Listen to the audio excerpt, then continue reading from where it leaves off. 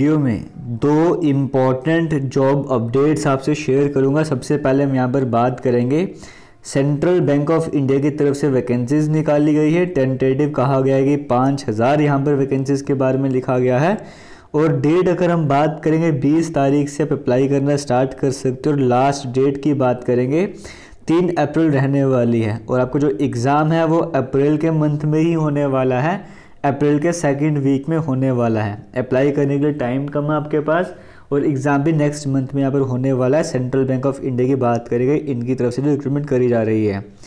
देखो, अगर हम बात करेंगे रीजन वाइज वैकेंसीज बात करेंगे गुजरात में थर्टीन वैकेंसीज देखने को मिल रही हैं, है ना? इस तरह से अगर हम चलते जाएँगे, अगर हम स्पेशली जम्मू कश्मीर पर फोकस कर लेते हैं यहाँ पर, क्योंकि मैंने आपको बताया ऑलरेडी कि यहाँ पे आपको मैं अल्टरनेट बताते जाऊँगा जेके का क्या क्या अल्टरनेट रहता है। तो वो अल्टरनेट मैं आपसे हमेशा शेयर करता रहूँगा।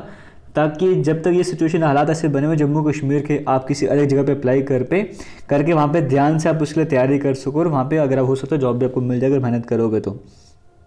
तो यहाँ पर जम्मू कश्मीर के सेक्शन पर अगर आप आओगे तो ट्वेंटी सिक्स वैकेंसीज आपको यहाँ पर देखने को मिलेंगी। कहीं पर वन फिफ्टी कहीं पर one zero eight five zero two vacancies यहाँ पर देखने को मिल रही हैं, यहाँ पर थ्री फोर टू हैं। लेकिन जम्मू कश्मीर सेक्शन पर जब आप आ जाओगे तो यहाँ पर टोटल वैकेंसीज ट्वेंटी सिक्स हैं।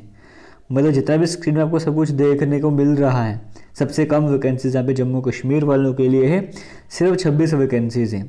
क्योंकि जम्मू कश्मीर वालों के लिए अगर हम स्पेशली बात करेंगे, ज़्यादा वैकेंसीज आनी हैं तो वो जे के थ्रू ही आनी है। लेकिन जे के एस जे के थ्रू आनी है। लेकिन वहाँ पे अभी हालात कैसे बने हुए आप सभी को समझ आ रहा है। इसीलिए मैं आपसे अलग अलग तरह के जो भी जॉब अपडेट्स आएँगे जम्मू कश्मीर वालों के लिए, वो मैं आपसे शेयर करता जाऊँगा। तो ये एक जॉब अपडेट आपसे शेयर कर रहा है। अब इस पर ज़्यादा डिटेल में डिस्कस नहीं करेंगे क्योंकि आपको समझ आएगा छब्बीस वैकेंसीज़ हैं। फिर भी जो यहाँ पर अप्लाई करना चाहता है इंटरेस्टेड है, वो यहाँ पर अप्लाई ज़रूर करेगा। एज लिमिट की बात करेंगे, बीस से लेकर अट्ठाईस साल तक है। अगर आप ग्रेजुएट हो तो ही आप यहाँ पर अप्लाई कर सकते हो। इतनी डिटेल्स आपको यहाँ पर देखने को मिल रही हैं। वैकेंसीज पाँच हज़ार के करीब यहाँ पर देखने को मिल रही है। टेंटेटिव है। ऑनलाइन आपका जो एग्ज़ाम होगा, उसमें जैसे जीके होगा रीजनिंग मैथ कंप्यूटर नॉलेज होगा। ये सारी डिटेल्स आपका सिलेबस आपका पेपर का रहने वाला है अगर आपकी ये स्ट्रीम वगैरह रही है, आप यहाँ पर अप्लाई कर सकते हो। जिस स्टेट या यूटी के लिए अप्लाई करना चाह के लिए अप्लाई करना चाह रहे हो, वहाँ की जो लोकल लैंग्वेज होती है आपको, वो भी आनी चाहिए। और बाकी ये कॉन्ट्रैक्ट बेसिस पे जॉब है, यहाँ पे आपको जो स्टाइपेंट मिलेगा, वो ज़्यादा नहीं मिलने वाला, कभी दस हज़ार, कभी बारह हज़ार, कभी पंद्रह हज़ार, इस तरह का पर मंथ आपको स्टाइपेंट यहाँ पर मिलने वाला है। कॉन्ट्रैक्ट बेसिस पे ये जॉब रहने वाली है।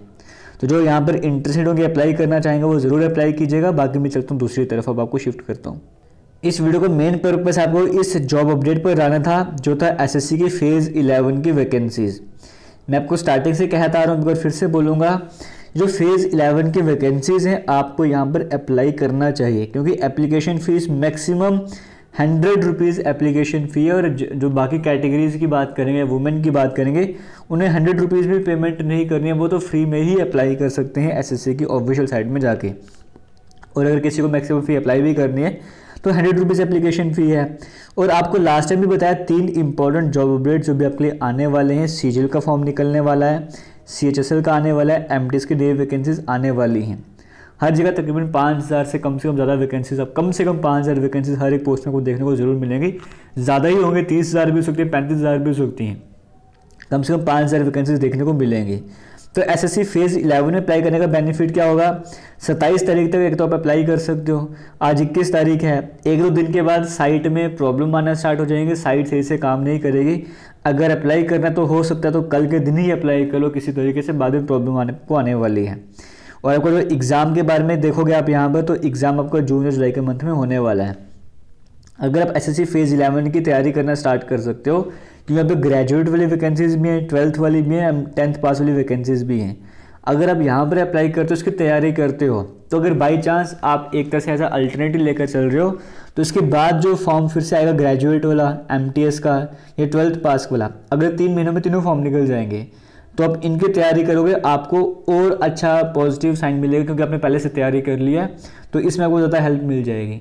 और इसकी तैयारी करोगे, जेके एस की अपने आप ही आपकी तैयारी होती जाएगी। इसीलिए मैं कहता हूँ, आपके लिए एसएससी बेस्ट अल्टरनेट है और एज लिमिट की बात करेंगे, जो दसवीं पास हैं, उनके लिए अट्ठारह से लेकर सत्ताईस एज लिमिट वाली वैकेंसीज भी जनरल वालों के लिए, बारहवीं वालों के लिए अट्ठारह से तीस वाली भी हैं। वैसे ग्रेजुएट वालों के लिए तीस तक की वैकेंसीज भी हैं। अगर रिलैक्सेशन वगैरह है कैटेगरी है तो रिलैक्सेशन वगैरह भी है।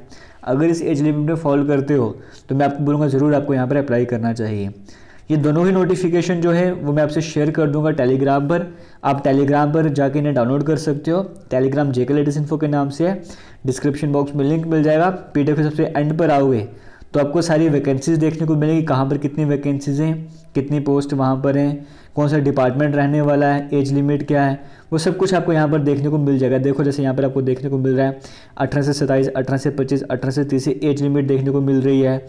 पे स्केल बता रहा है आपको कौन सी क्वालिफिकेशन आप अप्लाई कर सकते हो, इस तरह से आप देख के यहाँ पर अप्लाई कर लो, आपके लिए बेनिफिट रहने वाला है। ये दो जॉब इंपॉर्टेंट जॉब अपडेट थे, आपको जहाँ पर भी अप्लाई करना हो बट एसएससी के लिए ज़रूर अप्लाई कीजिएगा, अगर आप जे की तैयारी कर रहे हो या आने वाले किसी एग्ज़ाम की तैयारी करना चाहते हो। प्लस पॉइंट आपको बता दी अगर आपको फ़ी की टेंशन है मैक्सिमम फ़ीस हंड्रेड रुपीज़ है, और उसकी तैयारी करने पे कोई लॉस भी नहीं रहने वाला है एग्जामिनेशन आपको जम्मू में बन जाएगा, सांबा में बन जाएगा, श्रीनगर में बन जाएगा तो वो टेंशन लेने की भी ज़रूरत नहीं है।